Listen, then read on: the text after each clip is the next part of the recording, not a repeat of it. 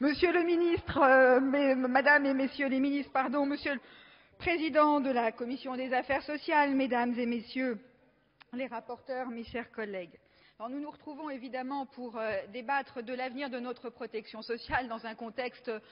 qu'on ne peut pas ignorer, et même si nous avons, euh, ou si vous avez voté il y a quelques instants votre projet de réforme des retraites, il est évidemment difficile d'en faire abstraction. Et c'est dans ce contexte général que s'inscrit euh, ce projet de loi de financement de la sécurité sociale. Car si les Français sont descendus dans la rue et descendront encore dans la rue pour manifester euh, avec vigueur et force leur refus du texte que vous avez fait adopter, c'est parce qu'ils y lisent avec raison la déconstruction de notre modèle social et la remise en cause de tout ce qui, euh, jusqu'à maintenant, avait fondé le pacte social issu de la résistance et du Conseil national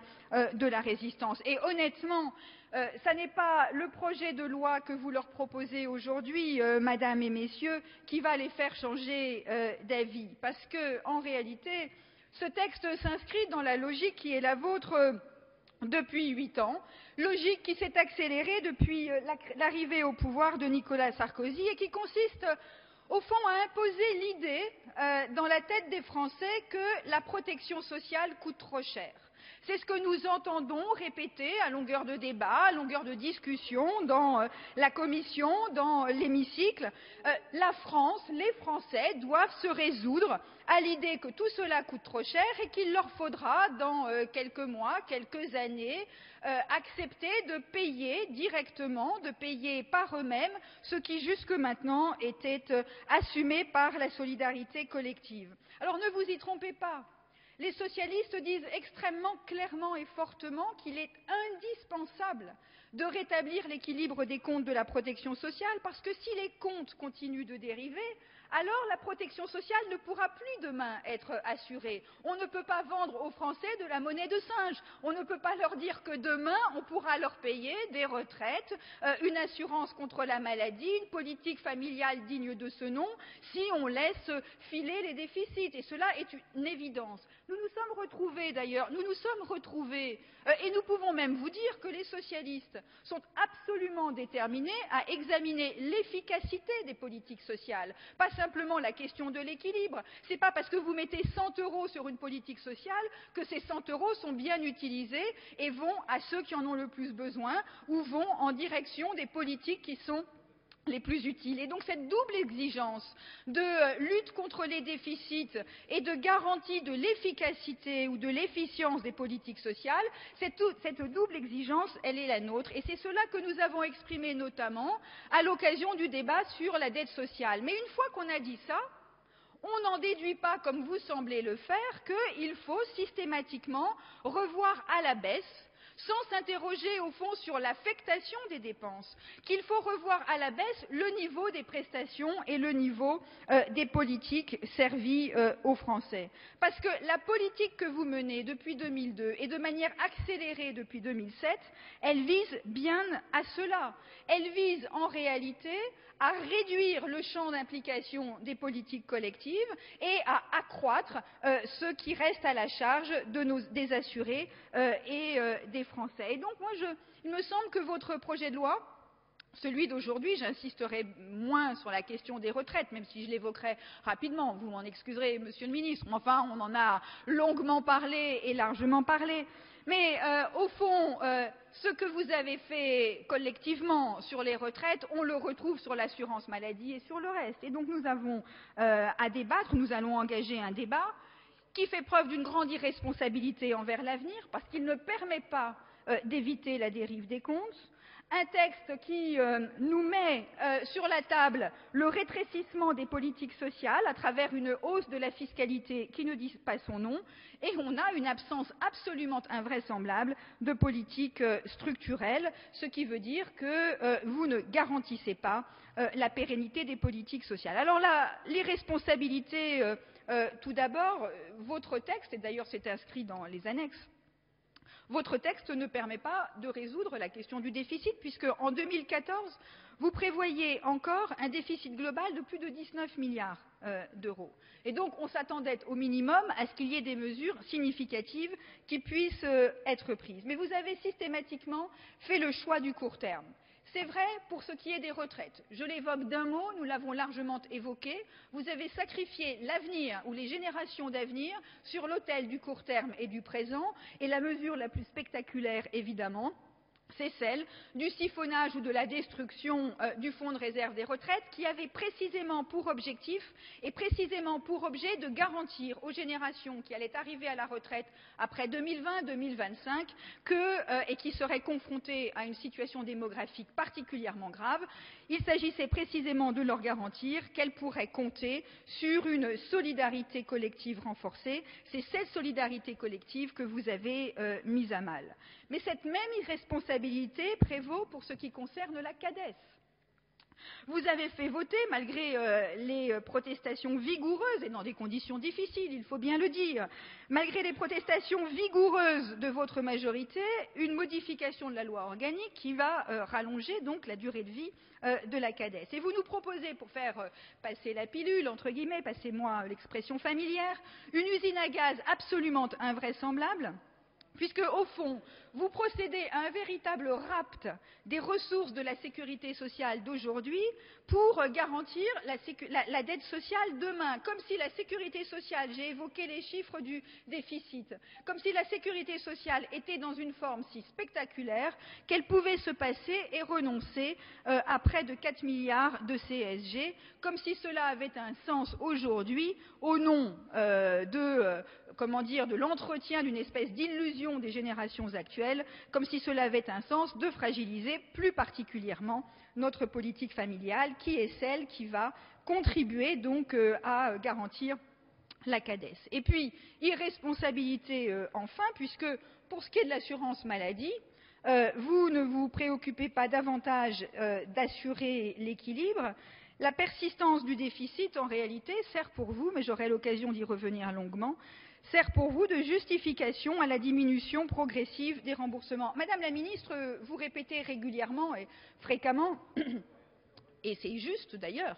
que lorsque l'on va, lorsque l'on va à l'hôpital, on est euh, pris en charge à 93% euh, euh, en moyenne, voire davantage, 95%, et c'est exact. De même qu'il est exact de considérer que la sécurité sociale assure une prise en charge à hauteur de 77% environ de la maladie, lorsque, du risque maladie pour nos concitoyens. Mais si l'on prend en compte la globalité des dépenses d'assurance maladie, maladie. Si l'on prend en compte non pas les frais d'hospitalisation, non pas euh, les euh, affections longue durée, mais que l'on considère les soins courants, les soins quotidiens, ceux qui concernent 80-85% euh, des Français jour après jour, qu'il s'agisse d'une fracture, d'une angine, d'une grippe ou d'une maladie plus significative, mais qui n'a pas la dénomination d'affection longue durée, on s'aperçoit alors que la prise en charge elle est réduite à moins de 55%. Certains, certains analystes disent même que la prise en charge est en train de frôler les 50%. Donc en réalité, on a un système qui en vérité est en train de se dédoubler, avec une prise en charge qui reste assez significative et euh, tout à fait excellente pour ce qui est euh, du gros risque, mais euh, un déplacement et une diminution pardon, une diminution euh, des euh, petits risques euh, et des soins courants. Et la vérité, c'est qu'au cours des quatre dernières années, la prise en charge de la sécurité sociale a diminué de deux points, alors que les transferts vers les complémentaires ont augmenté d'autant, ce qui évidemment est significatif, et d'autant plus significatif que vous augmentez le prix des cotisations, enfin le prix du coût des complémentaires santé, puisque c'est mon deuxième point, votre politique est une politique qui revient à augmenter la fiscalité euh, sans, le dire. Augmentation de la fiscalité que vous devriez euh, reconnaître. Nous le disons, nous, nous sommes prêts à débattre de la question de l'augmentation de la fiscalité. Nous ne sommes pas, contrairement à ce que vous nous dites,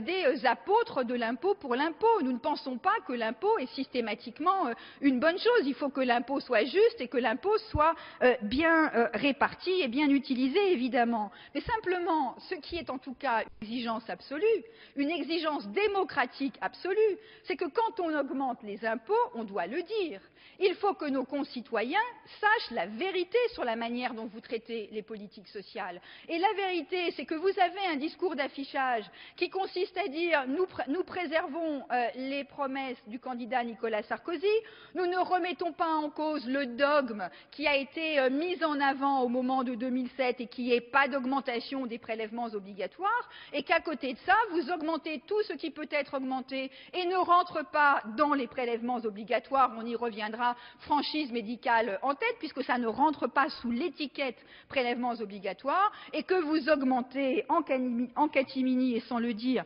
si ce n'est à Bruxelles,